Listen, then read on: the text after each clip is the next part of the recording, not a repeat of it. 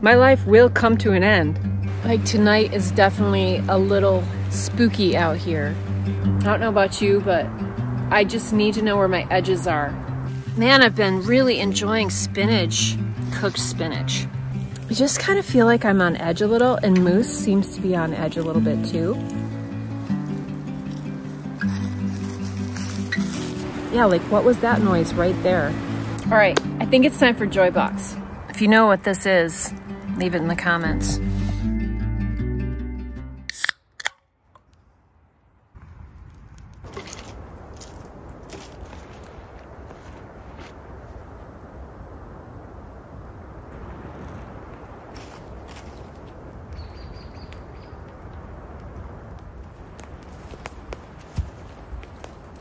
I'm constantly wondering, where is my edge? Have I lost my edge?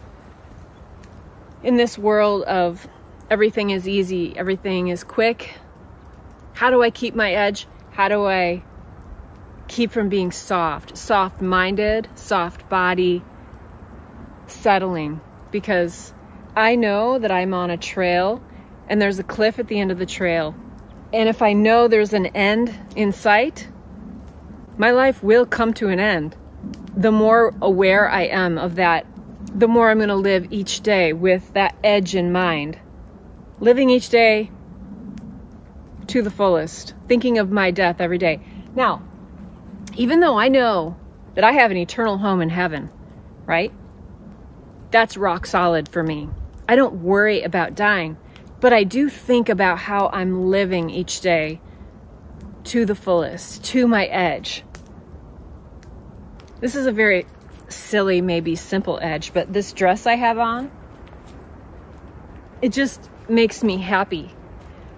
But I tend to dress practical and I dress for other people. I dress for my work, of course, but if I was to dress like I didn't care what anybody thought of me every day, I'd probably dress like this.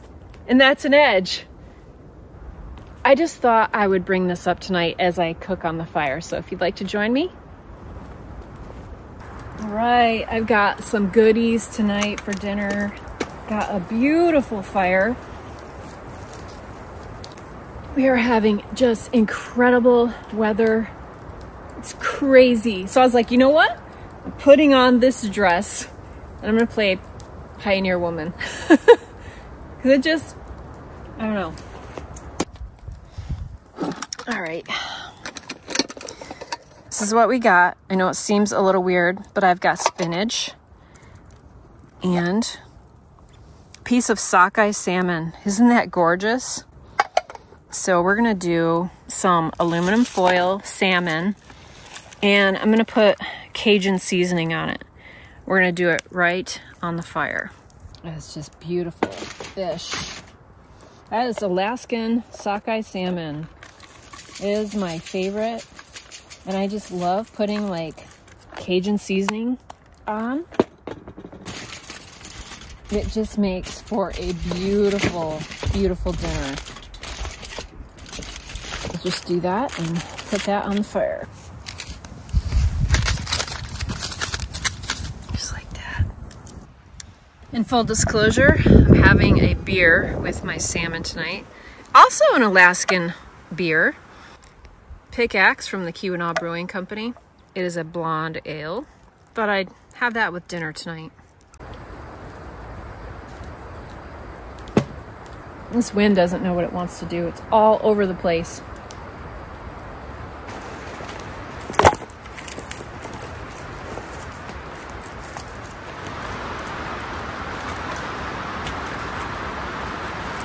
Amazing how warm it is. Holy cow.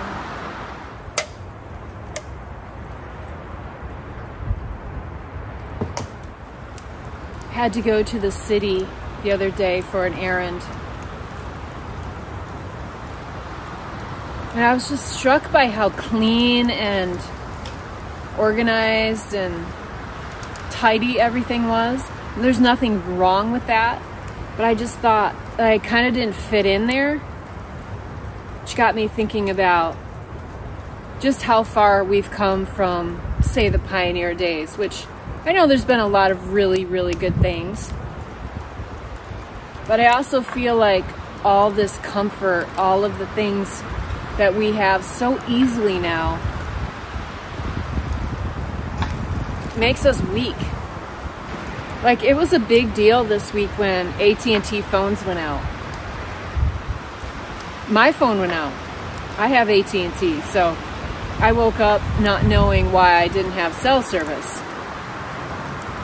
And there's nothing wrong with technology, there's nothing wrong with all of our advances, but it just makes me wonder how it affects people in the long run, making us rely on things other than rely on our skills and ourselves. Do you avoid dirt? Do you have to take a shower every day? Do you have to take a shower twice a day? I'm so aware of my running water in my house. We have several off grid properties, and for 10 years we lived without running water in Alaska. And I mean, I just, I never take it for granted that I can turn on a faucet and do my dishes in hot water and take a shower. That easy. Because I've had to work in the past so hard for my water, I just really don't take it for granted. And I think just when you taste a life of a little more hardship, it just prepares you mentally, physically for other challenges in your life.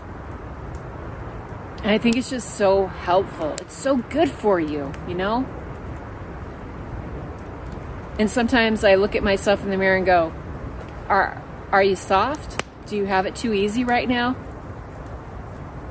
half of me also thinks, you know, at any moment I could be sick or injured. A close family member can be sick or injured, and it would change my life.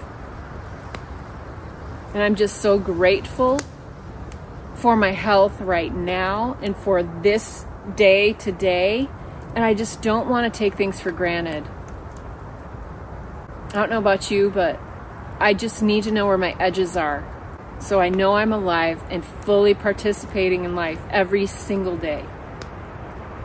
And if that means putting something on that pleases me, you know, I know this is kind of a weird metaphor for what I'm talking about today, but I remember the day I bought this hat. I was in Alaska and I went into the Prospector, which is a really cool kind of they have really great outdoor clothing and, you know, rugged stuff, right? And I went in there and I saw this hat and I thought, that is a cool hat. And I put it on and it fit and I thought it looked okay. And I was really self conscious about wearing it at first. I was like, you know, not a lot of people wear hats like this. You know, it's, you know, Indiana Jones safari. Like, you can put any kind of meaning you want into hats. Back in the early 20th century, like, everybody was wearing hats. I love to see the pictures of everywhere, everybody wearing, like, really cool hats. Anyway, I felt so self conscious in, in public with this hat on. Then, um, I started wearing these weasel tail earrings. Then a friend of mine at uh, the Tanana Valley Farmers Market in Fairbanks, he was making these weasel tail earrings. And these were from ermine he had caught himself and he tanned them and like he made these earrings. They were super cool. He was he was supporting himself with his trapping and living such a rustic lifestyle. He was living out of his van on like the North Slope in the middle of winter. Like he had a a wood stove in there and everything. So I started wearing this hat and these earrings. And you know, I already braid my hair. I'm already like not a young person. I'm not 12 braiding my hair. I'm 52 now. I'm still braiding my hair. But anyway, I wasn't 52 then, doesn't matter. I'm an adult braiding my hair with this kind of hat, and I put my own little birch bark, you know, hat band on it and stick the feathers that I like in it. And I'm wearing weasel tail earrings. And I'm like, you know, I'm not blending in. I'm not very blendy. And there just came a time when I was like, I was okay with that. Because I was being real, I was being myself, and I was finding the edge of my fashion and my personality, and putting that out there in public.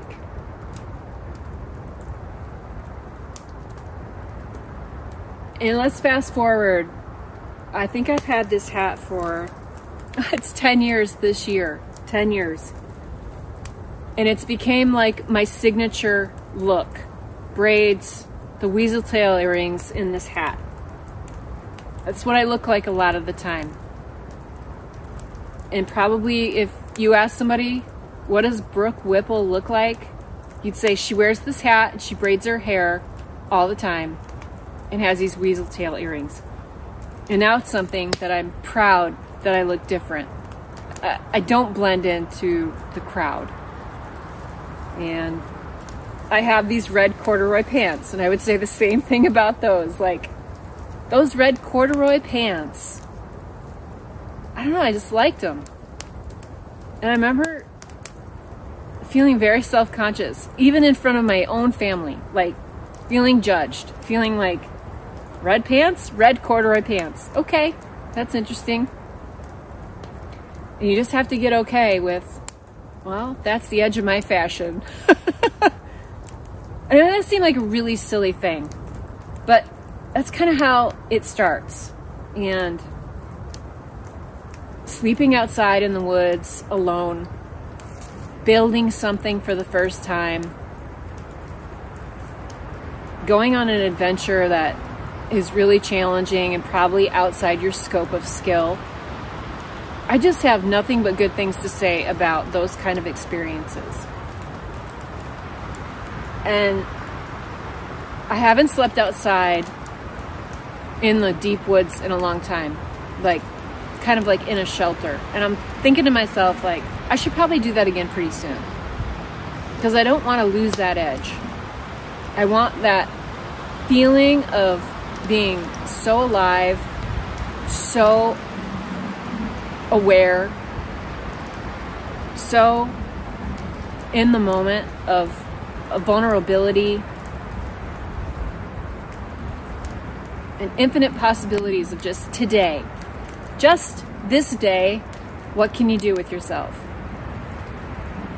How will you live so that when you're on that trail and you can see the cliff on each side and you, and you see the cliff at the end, that you know you're on the trail and although you may fall off, that trail is there for you to take. And I just don't ever want to lose that. I don't want to get off the trail. And it starts with being mindful about how you're spending your time and how you're spending your day. And I work on it. I struggle. I got a really full plate and I'm I scroll the internet too much. I get carried away. My morning's gone. I want to write a book and I say that out loud and then I don't write the book. But right now I'm in a season of tackling something with my daughter that I don't have any experience with real deep experience. And it is such a learning curve. And it's an edge. It is another edge for me. And it just makes me feel so alive to be pushed. And I think if you're not being pushed, either by yourself, mentally, physically, intellectually, you're going to go off the trail. And you'll forget about why you're here and the joy of just being alive. Anyway, I know I'm ranting. While I cook this salmon, I just want to share that with you.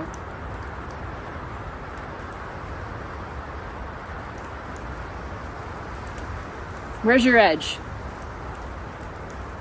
That edge is just so important to me. So, I've told you this, I'm like working on my physical edge, getting my body strong, super strong, being as healthy as I can, being aware of what I'm eating. But more than that, it's a mindfulness of how you spend your day, how you spend your time. What are you doing to better yourself, better the world around you, to be a human that's fully engaged? And that doesn't mean you won't have problems and you won't have setbacks and issues of health and everything else that comes with it. But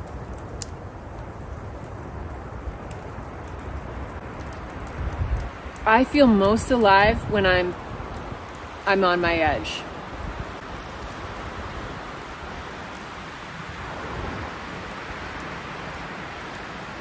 What is your edge?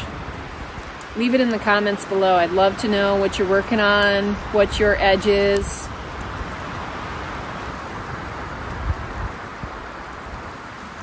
I just heard something over there.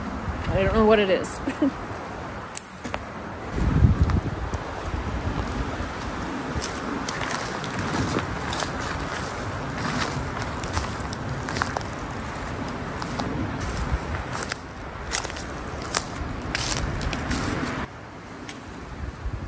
Very windy, so very well could be some branches falling down.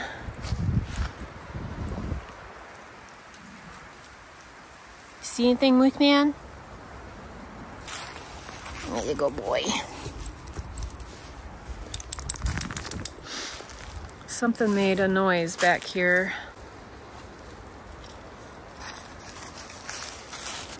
Don't see anything.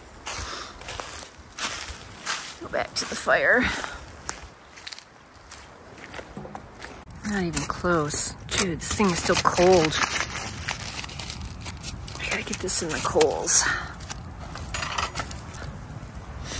That'll do it. Probably wondering what the heck about the uh, spinach. A little butter in there. And you need a lot because it just goes into just, it be, it's like nothing. Man, I've been really enjoying spinach on the stove lately, just like cooked spinach. It's gonna be a really delicious, healthy meal. Campfire spinach, guys. You excited? like tonight is definitely a little spooky out here it's just so windy and it makes the branches moving in weird ways. You hear crashing, fires kind of swirling around and I just kind of feel like I'm on edge a little and Moose seems to be on edge a little bit too. And so you got to trust your instincts as well. Doing things that make you a little uncomfortable. Stuff falling, there's noises like hear off in the distance that I can't really tell what it is. That's okay, because I got salmon to eat. Yeah, like what was that noise right there?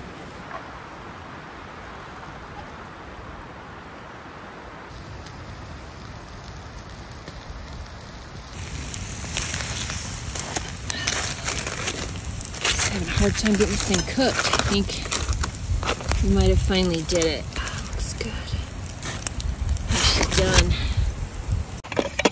Right, there it is. That's a pretty good looking dinner, guys, huh? And it's so healthy. Oh, man, look at that. That is pretty freaking good. Better say a prayer.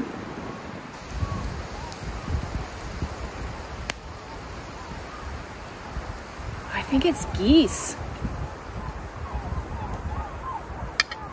Dear Lord, thank you so much for this beautiful, beautiful weather.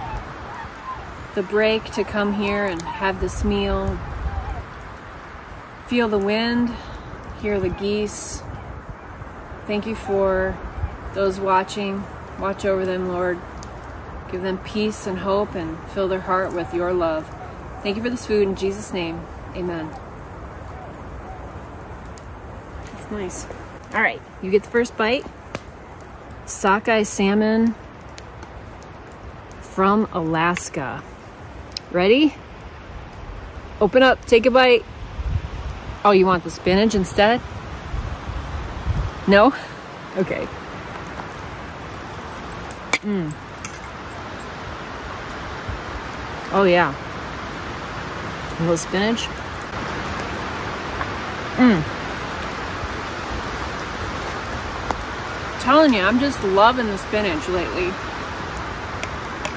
A Little butter and salt. It is good. Oh, I've been waiting all day for this.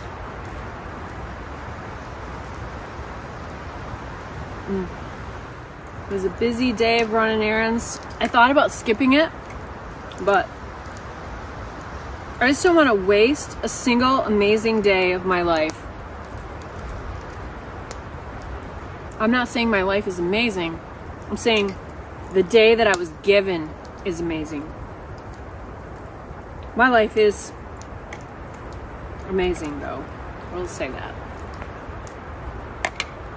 Oh, so good. So maybe your edge is being outside alone at night. That is a legitimate edge. It's one of the hardest. Last year I did a five fire challenge with things associated with each challenge that you know you could do to maybe try to find your edge.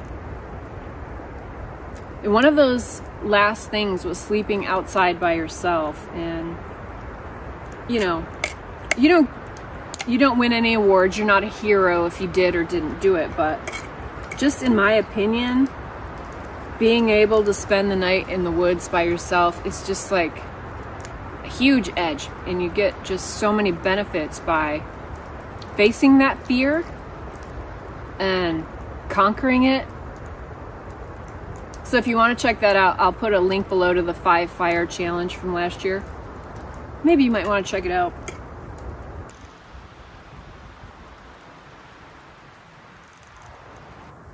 Love seeing the glow on the trees. It's so cool. There's so many stars tonight, but you can't see them through the camera. This is lovely. Windy, but lovely. All right, I think it's time for Joy Box. Let's see what's in the box. I got a really cool old box here. Kind of hard to see in the dark, but it's really, really cool old box. And so I also like finding the boxes for the things that's in the box. This box is just neat. I don't know. I don't know what it is.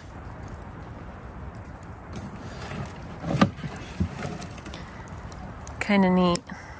If you know what this is, leave it in the comments. But I found this this box and I thought, yeah, this is the one. All right, so Joy Box.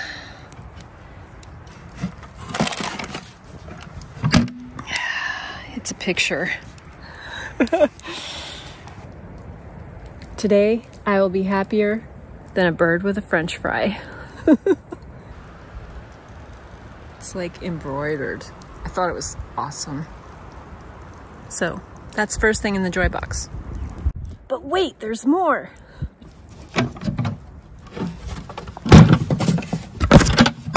Okay. Isn't that just the cutest? I don't know. It just spoke to me. I found this on eBay. I've had it for years. This is an this is an oldie. What's it say on the back? Raven in the Roses by Deborah Gregg 07. Yeah, I've had this a long time. I got into a kick of like tiny little paintings because I love tiny things.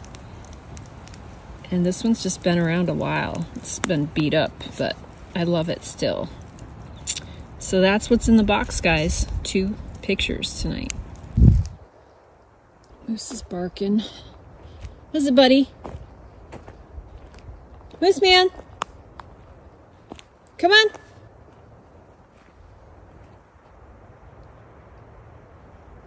Lucy! I don't know where he went. Moose! Come on, buddy. Good boy. Good boy, it's okay. Come on. Good boy. Good boy. Yeah, you go boy. Garden the place, huh? Garden us? You go boy. That's always freaky when he starts barking. well, that's gonna do for me. Hope you liked the video, guys. See you in the next one. It's Girl in the Woods. She gone. Oh, don't forget to get outside and get happy.